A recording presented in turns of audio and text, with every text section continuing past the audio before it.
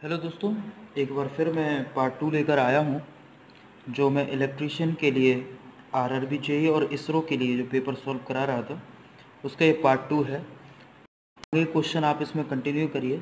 अभी मैंने बारह तक क्वेश्चन करा दिए थे अभी थर्टीन क्वेश्चन है, जो कि आप इसमें देख सकते हैं टेक्निकल जैसा कि मैंने बताया था, इसमें 200 क्वेश्चन करीब हैं 100 नॉन टेक्निकल और मैथ्स के क्वेश्चन हैं। जबकि जो 101 से यहाँ से 200 तक क्वेश्चन दिए, वो टेक्निकल है। तो हम यहाँ पर टेक्निकल पार्ट कवर करने वाले हैं। देखिएगा। दोस्तों 113 क्वेश्चन आप यहाँ देख सकते हैं। ये विजिबल हो रहा है। What are the effect of short circuit short circuit का इफ़ेक्ट जो होगा, वो क्या होगा? तो दोस्तों, यहाँ पर हम शॉर्ट सर्किट के इफ़ेक्ट के बारे में बात कर रहे हैं। ओके ये क्या होगा? इसके बारे में हम लोग डिस्कस कर रहे हैं। तो यहाँ पर आप देख सकते हैं।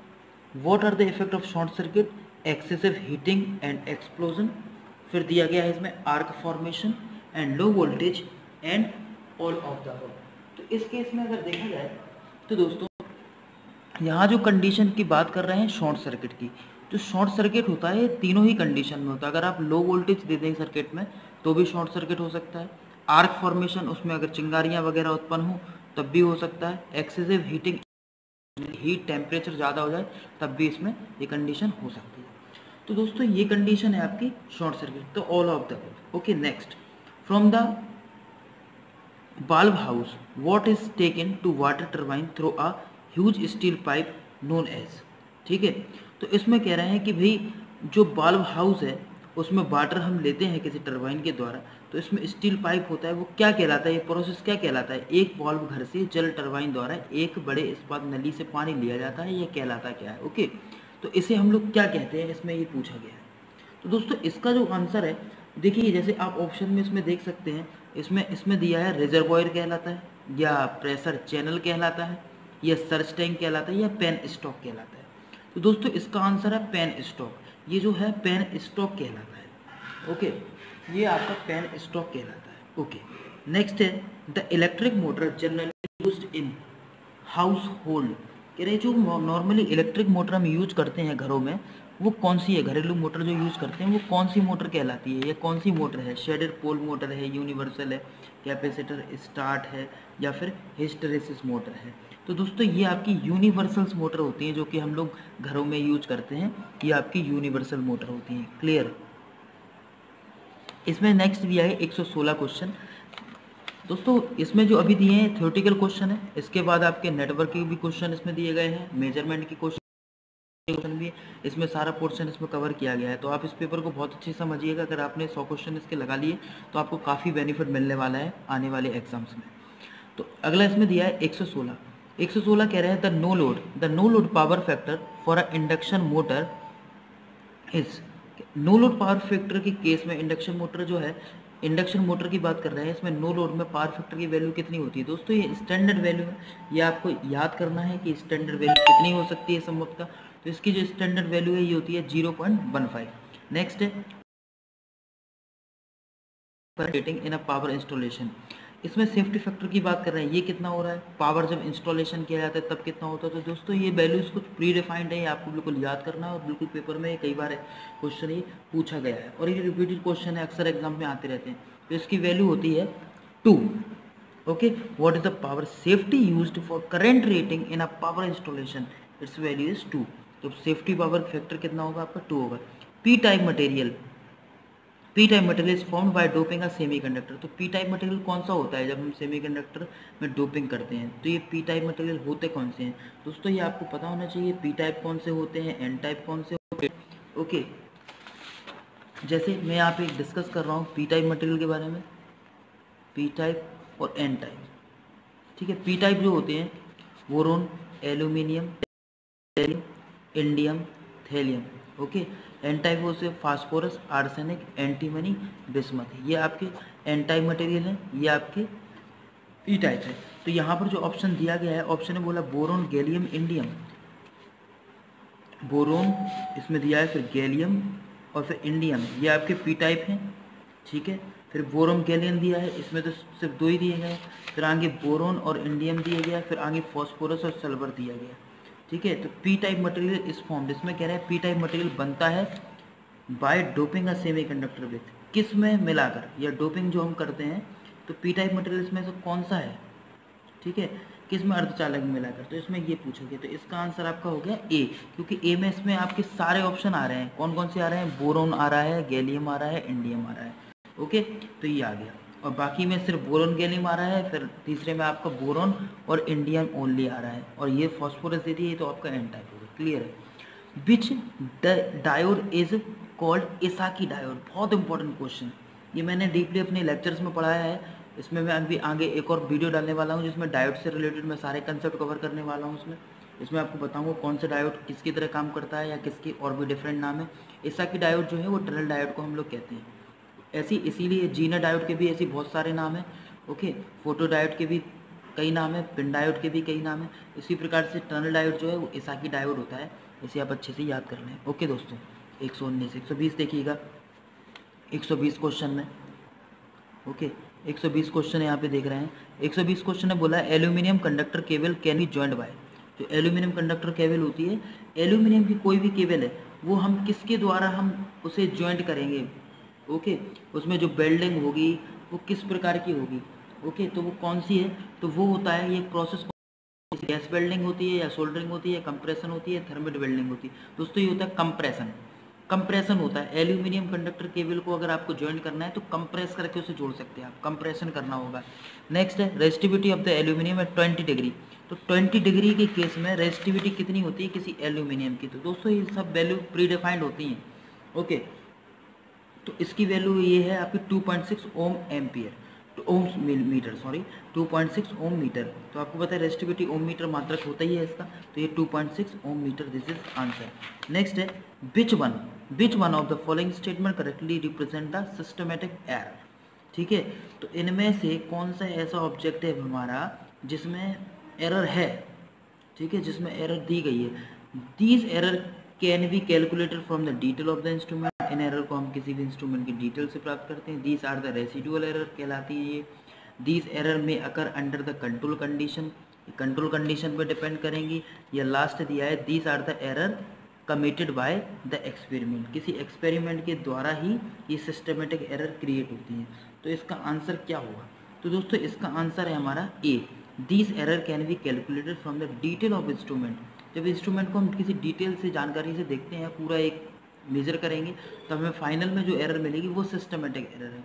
कोई भी हम सिस्टमेटिक वे में कोई भी वर्क करते हैं तो सिस्टम से वो सिस्टम पूरा चलेगा और फिर फाइनल में जो हमें एरर मिलेगी वो सिस्टमेटिक एरर कहलाती है। ओके नेक्स्ट इसी टाइप से आपको दिया है 123 question electric drive is becoming more and more okay more and more popular because electric drive popular होती क्यों?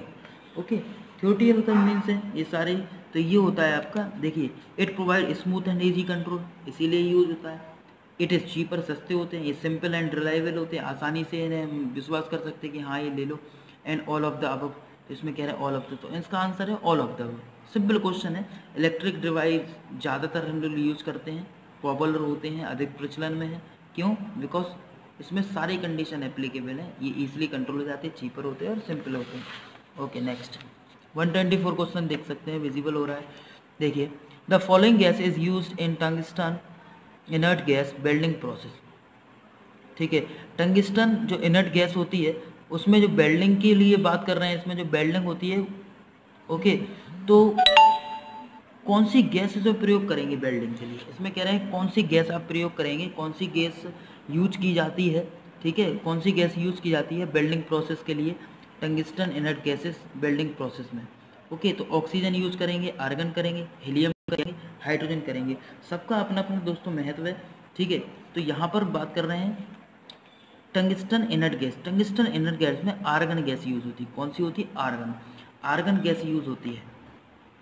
नेक्स्ट है which of the following parameter place limitation on exciter output तो parameter place limitations on exciter output ठीक है? तो exciter output में जो हम पैरामीटर यूज़ करते हैं, वो कौन सा होता है? वो पैरामीटर कौन सा होता है? पावर फैक्टर होता है फ़ील्ड कॉयल हीडिंग होता है, दोनों ही होते हैं या प्राइम मूवर आउटपुट होता है।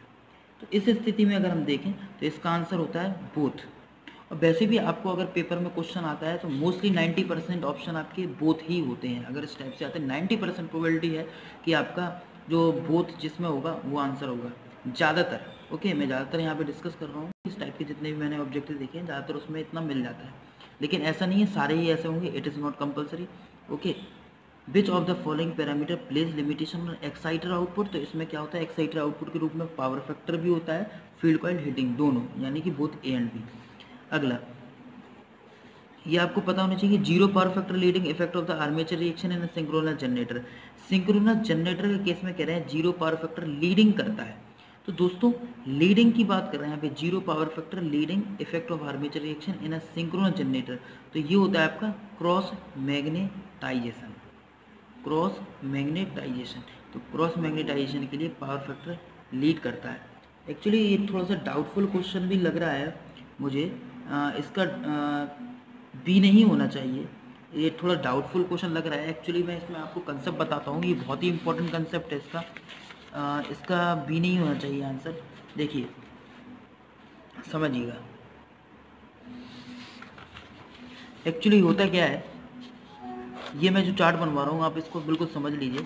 ये क्रॉस मैग्नेटाइजेशन मान लीजिए। क्रॉस मैग्नेटाइजेशन ओके इसे आप मान लीजिए जो एक कंडीशन है डी मैग्नेटाइजेशन नीचे और ऊपर मान लीजिए मैग्नेटाइजेशन। मैग्नेटाइजेशन, ओके, मैग्नेटाइजेशन हो गया। ये कंडीशन फॉर जनरेटर के लिए है। इस साइड अगर मैं बात करूँ, ये मोटर के लिए कंडीशन है।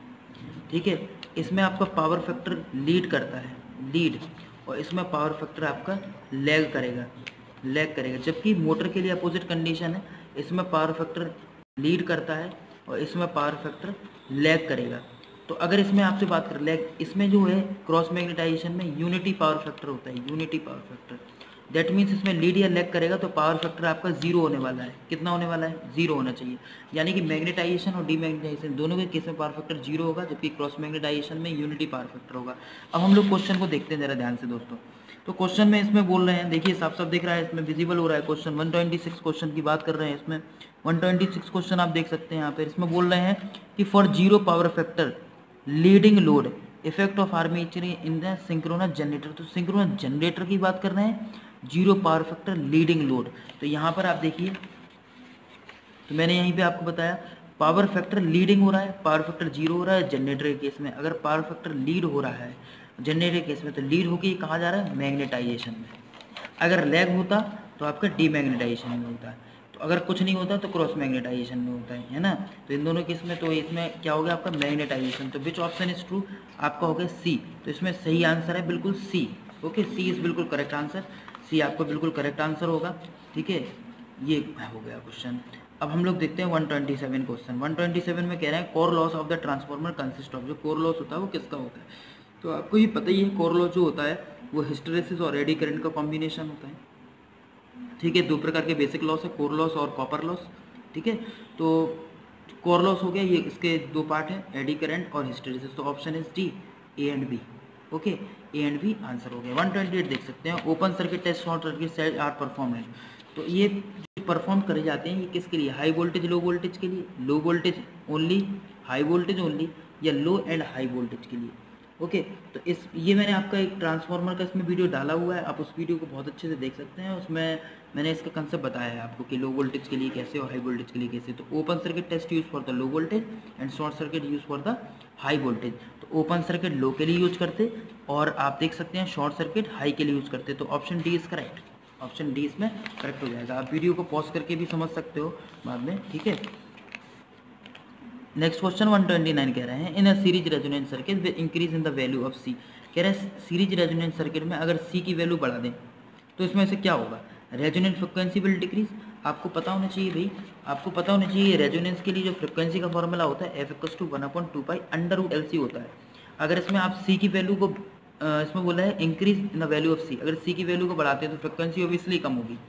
ओके तो resonance frequency will decrease resonant frequency कम हो जाएगी। हाँ यार, सही है ये। ठीक है, ये सही हो सकता है आपका, बिल्कुल सही हो सकता है। तो ये सही है, ये ऑप्शन अब इसमें कह रहा है क्यू बिल डिक्रीज क्यू की वैल्यू डिक्रीज हो जाएगी क्यू की वैल्यू में भी कमी आ जाएगी। ओके दोस्तों, आपको पता है क्वालिटी फैक्टर क्वालिटी फैक्टर क्या होता है? रेजोनेंट फ्रिक्वेंसी अपॉन बैंडविड्थ तो दोस्तों, ये जो एफ़ आर है ये रेजोनेंट फ्रिक्वेंसी है। तो रेजोनेंट फ्रिक्वेंसी अगर कम होगी तो क्यू भी कैसा हो जाएगा? कम हो जाएगा। तो क्वालिटी फैक्टर भी कैसा हो जाएगा? डिक्रीज हो जाएगा। क्वालिटी फैक्टर भी डिक्रीज हो जाएगा because it is directly proportional to resonant frequency फिर कह रहे हैं bandwidth increase bandwidth increase हो जाएगा. तो इसमें देखिए, इसमें बैंडविथ इंक्रीज हो जाएगा. इसमें ये बात कर रहे हैं. तो रेजोनेंट फ्रिक्वेंसी डिक्रीज हुई. तो इस केस में क्वालिटी फैक्टर डिक्रीज हुआ. तो क्वालिटी फैक्टर डिक्रीज हुआ तो बैंडविथ आपके कैसे होगा? बैंडविथ क्या होता है? देखेंगे आप.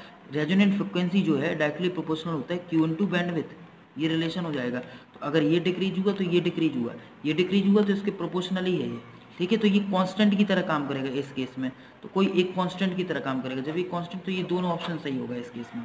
क्लियर जब ये दोनों केस में एक वर्क करने लगे, ये कांस्टेंट की तरह काम करने लगे तो इस केस में हम लोग इसको नहीं ले सकते।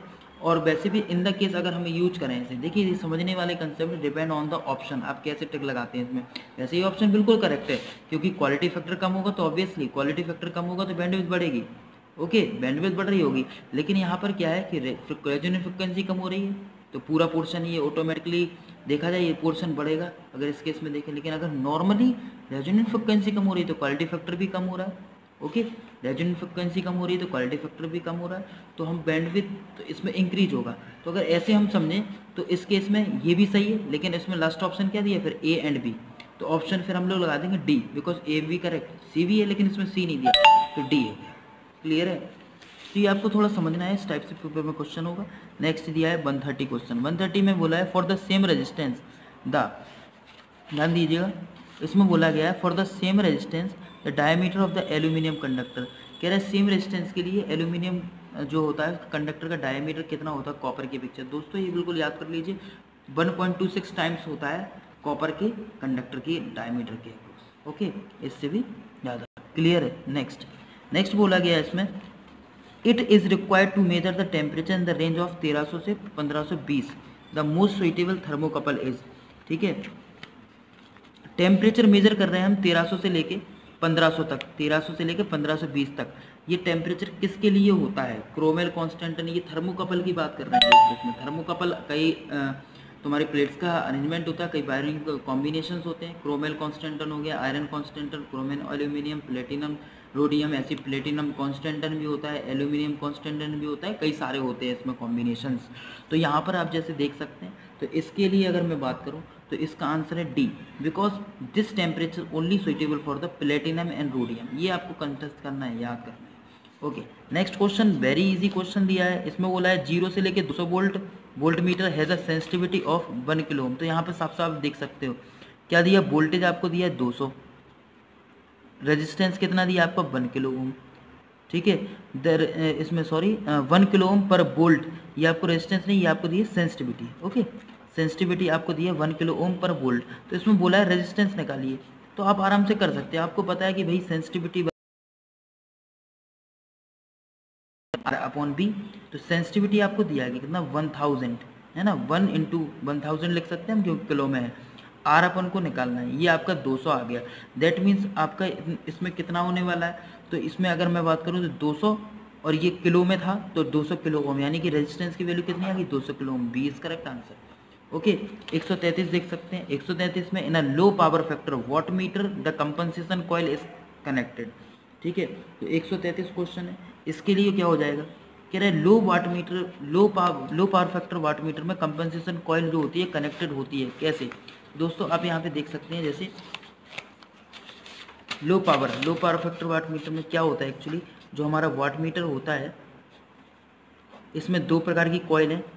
ठीक है दो, ये आपका वाट मीटर है, ठीक है वाट मीटर इसमें ये क्या है, दो प्रकार की कॉयल है। एक होती है इसमें करंट कॉयल एक होती है इसमें प्रेशर कॉयल ठीक है? एक होती है आपकी करंट कॉयल एक होती है प्रेशर कॉयल जैसे इसमें दिया गया कंपनसेशन कॉयल के बारे में, इसमें दिया है कंपनसेशन कॉयल किससे कनेक्ट होती है दोस्तों, ठीक है? तो कंपनसेशन कॉयल किससे कनेक्ट होती है, ये बात कर रहे हैं। तो आपकी ये होती है करंट कॉयल या प्रेशर कॉयल करंट कॉयल में क्या होता है? थिक वायर होते हैं इसमें thick wire and less number of turns less number of turns number of turns कम होंगे थिक वायर होंगे, इसमें थिन वायर होते हैं thin wire and large number of turn large number of turn large number of turn thin wire इसमें thick wire less number of turn तो ये current coil pressure coil का combination होता है। तो इसमें ये कह रहे हैं कंपनसेशन कॉयल कहाँ करते हैं? लो पावर फैक्टर तो ये एरर मेज़रमेंट में है वाट मीटर में ओके तो इसमें हम लोग यहाँ पर कनेक्ट करते थे this is a compensation coil compensation coil connected in pressure coil in series pressure coil की सीरीज़ में कनेक्ट होती है। तो इसमें क्या हो जाएगा? इन सीरीज़ कहाँ लिखा है? In series with pressure coil ये हो गया इसका answer C option is correct दोस्तों, ये पार्ट टू मैंने यहाँ पर आपको सॉल्व कराया है। इसमें पार्ट टू के बाद मैं इसमें पार्ट थ्री डालने वाला हूँ, जिसमें आगे क्वेश्चन सॉल्व कर रहा हूँ। आप उस पार्ट थ्री को देखिए, मैं आगे की वीडियो भी इसमें लिंक कर दूँगा। आप उस वीडियो को देखिए, लेकिन अगर आप इन वीडियो को ध्यान से देखते हैं तो ऑब्वियसली आपको आगे आने वाले टेक्निकल एग्ज़ाम्स में प्रॉब्लम बहुत ही कम होगी। ओके मैं ये तो नहीं कहूँगा कि बिल्कुल ही खत्म हो जाएगी, लेकिन हाँ ये है कि प्रॉब्लम आपकी बहुत कम हो जाएगी, क्योंकि आप अगर एक पेपर लगा लेते तो आपको बहुत बेनिफिट इससे मिलने वाला है आगे आने वाले सारे एग्ज़ाम्स में। तो दोस्तों, आप बहुत अच्छे से पढ़िए, कोई भी दिक्कत आए, आप मेरे से डायरेक्टली कॉन्टैक्ट कर सकते हैं।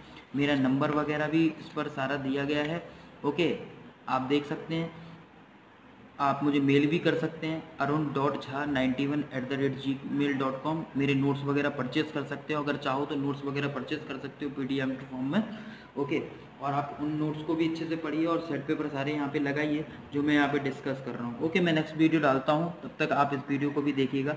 और मैं वीडियो आपकी लिंक कर दूँगा। धन्यवाद। वीडियो को लेकिन सब्सक्राइब ज़रूर करें। ध्यान दें, सब्सक्राइब करना ना भूलें। दोस्तों, अगर सब्सक्राइब नहीं किया है तो कर लें ताकि आपको वीडियो अप टू डेट मिलते जाए। मैं वीडियो डालूँगा, तुरंत आपको मिल जाएँगे। ओके दोस्तों थैंक यू